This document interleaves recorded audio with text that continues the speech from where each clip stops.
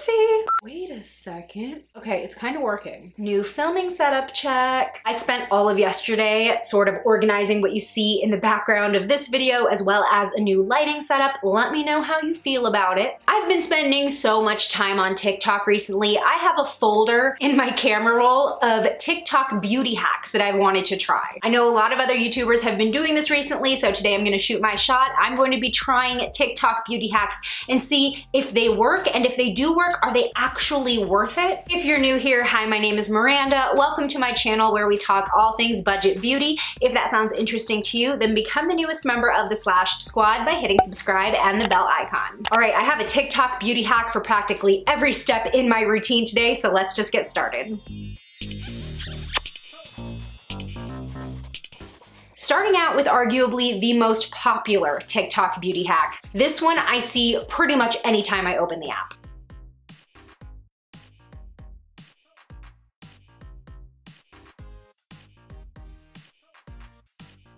Okay, so what she's saying is moisturizer, powder, setting spray, primer, foundation. That sounds like a whole lot of makeup to me, especially because I don't typically wear primer. But let's go, let's see if this transforms my face. All right, going in with my go-to, this is the Aveeno Positively Radiant Daily Moisturizer. And this morning I used cleanser and toner. This is the first time that I'm moisturizing for the day. I'm just curious about how this hack will really work for combo skin as well as slightly aging skin. I mean, as hard as it is to say, at 27, I am noticing some fine lines on my forehead. My laugh lines are getting deeper as well as under the eyes. Got some moisturizer in my hair there. The second step is translucent powder. So I'm using the powder that I chose in my shop, My Stash. This is the AOA Studio Perfect Setting Powder. I really like this powder because it's pretty finely milled. She said not too much, so I'm gonna go pretty lightly. Quickly adding some setting spray. This is the NYX Dewy Finish Setting Spray. Now I had to dig into some old PR samples because like I said, I don't typically wear face primer unless it is a super special event or I'm gonna be photographed. So I dug out a tube of the Maybelline Master Prime. This is the Blur and Pore Minimize Primer. There it is, it's one of those clear, pretty silicone feeling primers. Typically like to, ooh, mm has kind of a smell to it. I like to pat it in to my T-zone and then kind of spread out from there. So the next step is adding my foundation. And I will say right now, just with those three clear steps, my skin is already looking real smooth. We've got another Shop My Stash pick for my foundation. This is the Essence Fresh and Fit Awake makeup. Now I will say I have noticed after using this a couple times since making that Shop My Stash video, it's a little light for me, the shade. Now this foundation itself already gives me a really smooth and glowy finish, so I'd be surprised we really did see a difference. I made that face because I looked into the camera viewfinder. Just at first glance, it did actually look like I have a smoothing filter on my skin. If I had to call it right now, I would say that this TikTok makeup hack works. So far, so good. Let's move on to the next TikTok hack. This next one is all about brows. Okay, so awesome beauty hack. Stop buying these named brand eyebrow gels because honestly they don't work, there's little product and they're way too expensive. Go ahead and buy this at Walmart or Target, get a spoolie, add a little bit, brush your eyebrows as normal and you're good to go. First of all, throwing shade at Benefit. I actually really like the eyebrow gels that she held up. Now this person used the Got2b Styling Spiking Glue, which I do not have, but I did find an ultra defining strong hold hair gel from DevaCurl just in my random like travel size bin. And I figure it'll probably do the same thing. So in general, the hack is use hair gel as brow gel. You get more for way less. So I am just gonna lightly fill them in first first with the BH Cosmetics Brow Duo. Now, the one that she used was Stronghold, and so is this. I am afraid of like crunchiness though, so, so far so good. It didn't seem to lift any of the brow powder off. I just don't want shiny brows, you know what I mean? While we let the brows dry, let's do a foundation check. I am starting to notice a little bit of settling. Maybe I can just see it in person because I'm really, no, you can see it right here, see?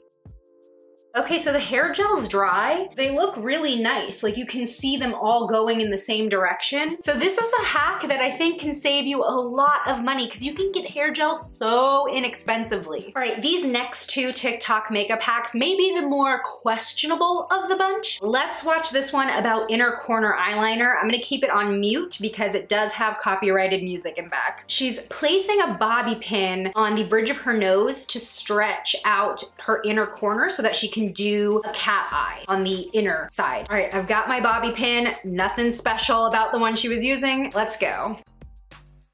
Put it on the bridge of her nose. Okay, will this be our first fail? Let's see if I can just get more skin with it. No. Do I just have like a really wide nose? Is my skin too smooth from the foundation hack? Okay, so I found this duckbill clip. Maybe that will work better because the bobby pin wasn't grasping anything. So let's see if this works. Okay, it's holding on to literally a millimeter of my skin. It's not really pulling anything inward. So I think we've got our first TikTok beauty hack fail. I'm gonna go ahead and add some normal eyeliner just so we have a little bit of an eye look going on today. This next one is probably the craziest thing I've seen. Let's check it out. All right, so she starts off showing a side by side of her lashes done and not done. She is doing a first step of mascara and then taking a freaking blow dryer and using it to curl them. Now, I have no idea why this would be your curling method of choice, but let's try it out. Okay, I'm using my BH Cosmetics Stellar Lash Mascara. Now, I have some pretty dang straight lashes, so if this works, I will be pretty surprised. All right, here's what my lashes look like before blow drying them. All right, I'm gonna make sure my blow dryer is on the cool setting.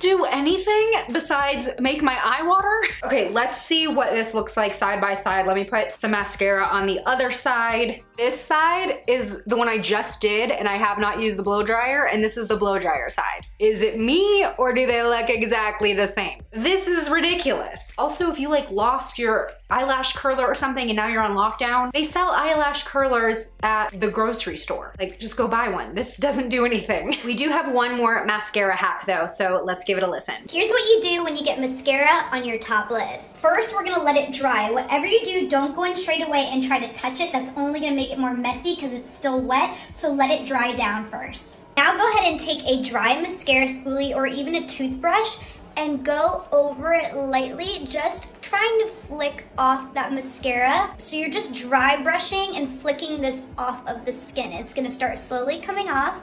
Go over it a few more times until that really dark pigment is off just like that. Now I'm just gonna touch up that eyeshadow a little bit by taking- Okay, so I'm not wearing eyeshadow, so I don't need to see how she touches it up. But basically, this happens to me all the time. I either end up with mascara on my eyelid or my nose. All right, say I was doing my mascara and oopsie. How do I know if it's dry?